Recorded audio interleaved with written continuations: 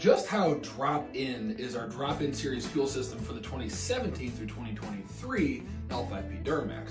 Now, we don't recommend physically dropping this system, but the installation is 100% drop-in, meaning you're going to install the bracketry, the supply bracketry, you're going to install the factory water and fuel sensor slash fuel heater, install your fittings, spin on your extreme water separator, install a new factory cartridge element, install the cap, then bolt it onto your truck.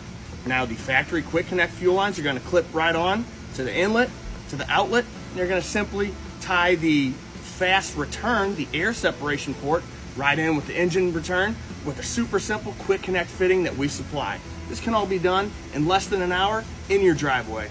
Now, for more information or to get yours ordered today, check them out at fassride.com.